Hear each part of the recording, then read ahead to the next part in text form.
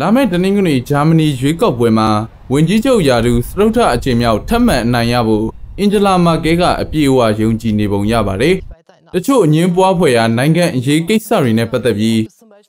လက်ရစွန်းရောက်လူဝင်မှုကြီးကြပ်ရေးနဲ့ပတ်သက်လို့သဘောထားတင်းမာတဲ့ AFD ပါတီဟာမဲဆန္ဒရှင်တွေကထောက်ခံမှုတွေလက်တလောရခဲ့ပေမဲ့မာကဲကတော့သူ့ပါတီအနိုင်ရမယ်လို့ယုံကြည်မှုအပြည့်ရှိနေပါတယ်။မာကဲဟာ ဝင်ကြီးချုပ်ယာဒူထမ်းဆောင်လာတာ12နှစ်ရှိခဲ့ပါပြီ။သူ့လက်ထက်အတွင်းဂျာမနီမှာအလုတ်ကင်မဲ့မှုညှော်နေပြီးစီးပွားရေးအောင်မြင်တိုးတက်မှုရရှိလာတဲ့အောင်မြင်မှုတွေအပေါ်အဓိကထားပြီးသူကမဲဆွယ်နေတာပါ။ ကျ Zukunft မအနေနဲ့အနာဂတ်ကိုမြင်ရတာမဟုတ်တော့ဘာဖြစ်လာမလဲဆိုတာတိကျမပြောနိုင်ပါဘူးဒါပေမဲ့ကျမတို့အစိုးရအနေနဲ့အလောက်ကင်မဲ့မှုထက်ဝက်ကျော်ရှော့ချနိုင်ခဲ့တယ်ခြားပြဿနာတော်တော်များများကိုလည်းဖြေရှင်းနိုင်ခဲ့တယ်ကျမတို့အစိုးရဟာအနာဂတ်ကိုဦးတည်ပြီးရှေ့ဆက်လန်းနေတဲ့အစိုးရဖြစ်တယ်ဆိုတာကိုပြသခဲ့ပြီးကျမတို့ရဲ့နောက်လာနောက်သားတွေအတွက်လည်းတာဝန်တည်တဲ့အစိုးရတည့်ရဲ့အနေနဲ့ဆက်လက်ဆောင်ရွက်သွားမှာပါ